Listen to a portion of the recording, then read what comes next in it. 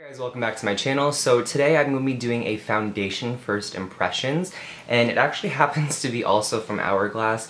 This is not a PR sample like my last Hourglass review was. This I just purchased with my own money because I saw it and I was like, it's a triangle. I know, I don't know why.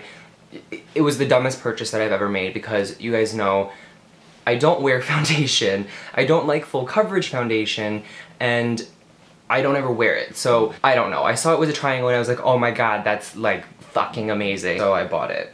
Makeup artist problems. Alright, anyway, this is the brand new Hourglass Vanish Stick Primer. It looks Vanish Stick Primer. This is the brand new Hourglass Vanish Stick Foundation. It is the same concept as the Makeup Forever HD stick where it is a push-up stick of foundation product. A lot of other brands have these as well, but the one that I think most people are familiar with is the Makeup Forever HD. That one I have never bothered to purchase because again, I don't like foundation, so I, I don't know why I bought this. It just looked really cool. So anyway, I'm going to be testing this out. It is said to be a very, very full coverage foundation. You don't need a lot. Um, this is the second time I'm filming this video because the first time I hated it. But then I went to Sephora and talked to a person who was very familiar with using it and got trained by an Hourglass rep who went to the store and whatnot and introduced the product. And apparently, you are not supposed to do swipes of this like you would make a Makeup Forever foundation. You are supposed to stamp it. So let me just zoom you in, um, but first let me show you the product. The foundation looks like this, very typical Hourglass packaging with this kind of metallic chocolate finish, and then the Hourglass logo. When you twist up the foundation, it comes out like this in a triangle shape. And I chose the shade Sand because it was the same as the one they sent me. I'm thinking it's a little light for my face, actually, but we'll see. Um, and yeah, so that's just one swipe. It is supposed to be very full coverage. Oh, so let me, Dumbo ears. Alright, let us begin. So I'm just going to stamp this on my face Apparently four like stamps should be enough for like one cheek is what I was told and then you are just supposed to glide this over the face and not with a beauty blender. You're supposed to like actually use a brush. I don't know if just stamping it I don't know if just stamping it was enough. Um let me try it again. I'm to put a few more stamps there.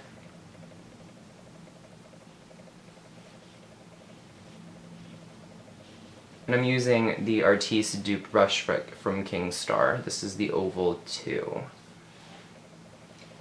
I mean, actually, my skin looks really good right now, so... I'm gonna put two... I don't really know. I'm just... I'm just going in.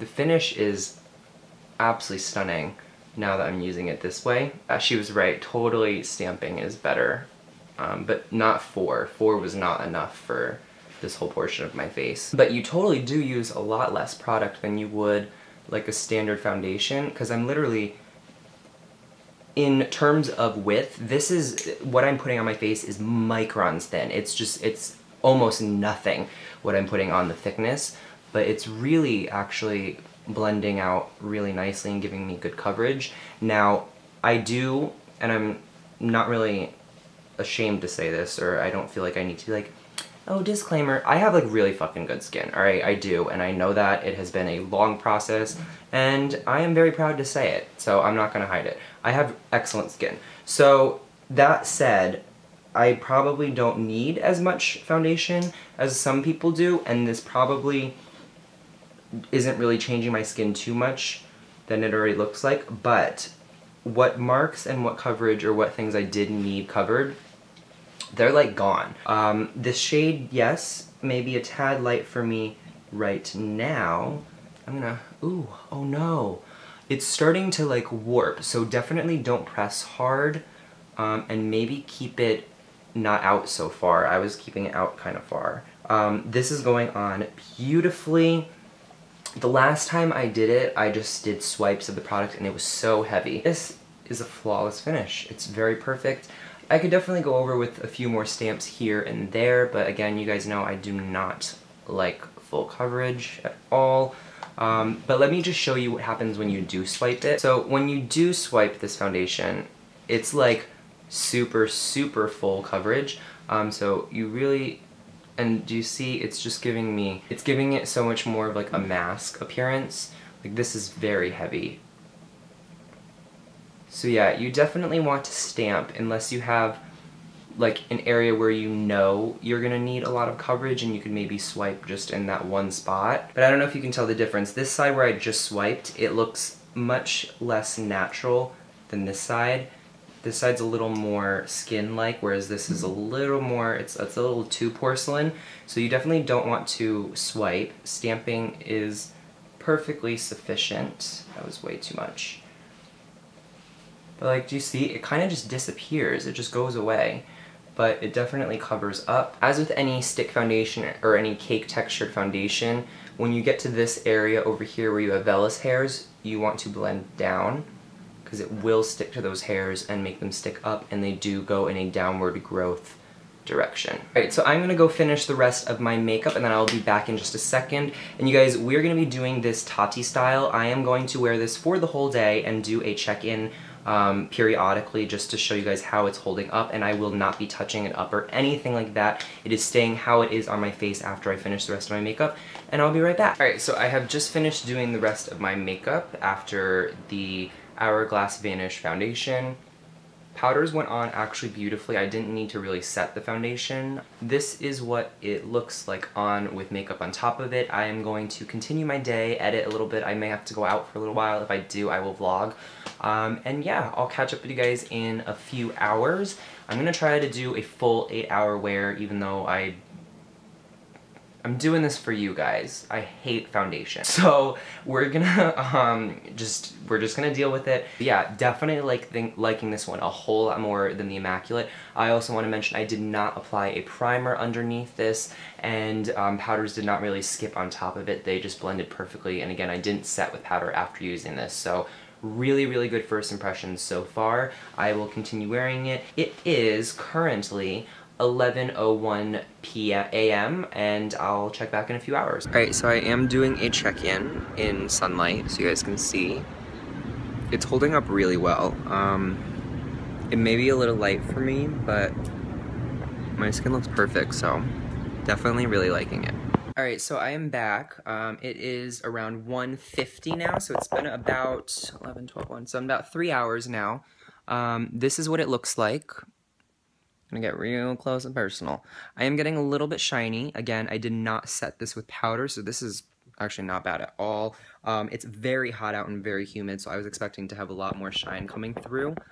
But it doesn't look that bad, you guys. Um, excuse the mess.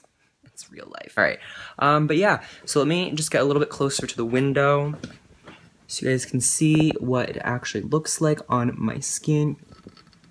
Um, it's really flawless. I mean, it looks perfect. It almost doesn't look like I have any foundation on. Um, and again, that is due to my skincare and the condition of my skin right now. My skin is really good, so that may have something to do with it. And I didn't apply a ton, but it's definitely still covering. And yeah, the makeup on top of it looks really good. And again, I didn't use setting powder, so I'm really surprised that the blush and the contour didn't get blotchy on top of the foundation. And that wasn't me being like, oh, I'm gonna test it out and see if you need to set it. I fucking completely forgot. So um, I'm really pleasantly surprised by that. So I'm gonna go about my day. I'm doing some editing. So yeah, I'm gonna check in with you guys in a little bit and then we'll do a final check-in at the end of the day when I'm about to wash this off at around seven o'clock. Okay, so guys, it is currently 4.30, so it has been about five hours now. I applied it at 11.15 um, or 11.20 or something like that. So it has been on now for about five hours and this is what it looks like. It's pretty much the same. Obviously, there's a little bit of shine coming in this area here and on my nose. Um, my forehead has remained pretty matte. It's not greasy, it's just like dewy. Um, so I'm super, super impressed. Let me zoom you in. This is after four or five, around four and a half, five hours. So again, I'm getting a little bit shiny in this area, my nose as well. So guys, I will do another check-in at 7 o'clock, which will be a full 8 hours. Again, I started at around 11.15, 11.20ish, so I'll do it at 8, and that will pretty much be a full 8 hours.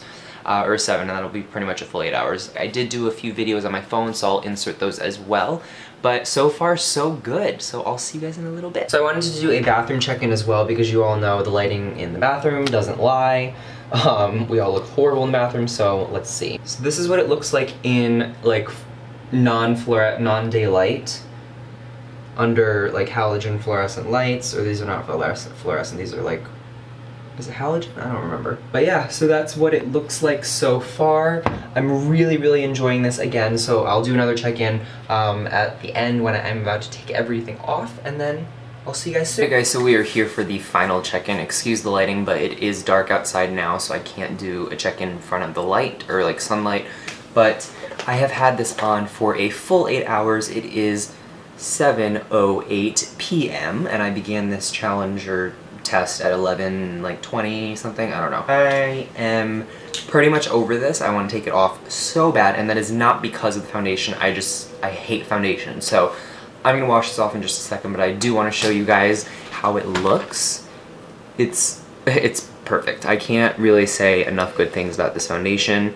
Um, excuse my eyes, I did try to, I was playing with colors and then they got all messy because I took a nap. But anyway, I'm really not that shiny at all. I have not powdered anything. I added a little more highlight to my brow bone, so this is not oil, this is just highlight. My nose, of course, is a little oily just because that always happens, but my forehead stayed very matte and dewy, and it doesn't, it honestly feels like there's nothing on my face. Um, I know it's there and it's clogging my pores and I want to get it off, but it's awesome. Like, this is eight hours of wear and like, it's it looks like skin, right? It looks like I have nothing on. Oh my god, so smudgy. So guys, I am so impressed with this foundation. It is absolutely awesome. I am definitely going to continue using it. Um, you do get actually quite a bit of product, and as you saw, I was just stamping on my face. Like, I'm twisting for a while now. Um, let me see. Wow, this is... So yeah, you get a decent amount of product in here. It's not as thick as like the Makeup Forever HD, but I think that doesn't dispense as high, so it may be around the same amount of product. But this stuff is awesome. I really don't see myself going through it very quickly, again, because I don't wear foundation often. But on days where I want to have perfect skin, this will definitely be my go-to. I'm in love with it. I don't know if I mentioned the price. It does retail for around $52. So that's really typical for an Hourglass product. Um, for foundation, that's a little up there. But performance-wise, I I've never tried a foundation that looks like this at the end of an eight hour day. Now, I didn't go to work and I wasn't doing anything too intensive, but it's like really good. I am so, so in love with this. I give it a huge, huge, huge thumbs up. Cannot recommend it enough. So guys, thank you so much for watching, and I hope you enjoyed this video. If you like this format, let me know. I did totally steal it from Tati, and I'm not ashamed to say that because I love her and she's my inspiration. She's right there. I wake up to her every day and say goodbye to her every day when I go to work. It's a crazy mental thing. But anyway, um, I will definitely be trying to do more of this type of video because I think it was a lot of fun and I'll see you guys in my next one. So don't forget to subscribe so you can catch up and keep up with those and until then, bye.